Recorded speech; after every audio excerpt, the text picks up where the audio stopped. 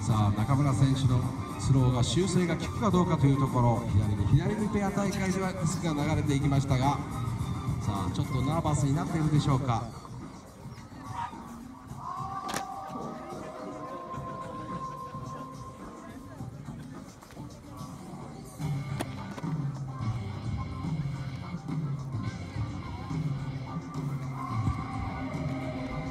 さあ久しぶりに出てきた所さんがなんと決勝に残っております。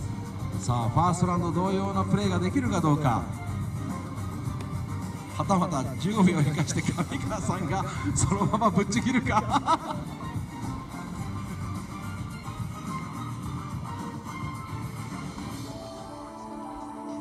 そして淡々と今日はゲームを進めております井原選手。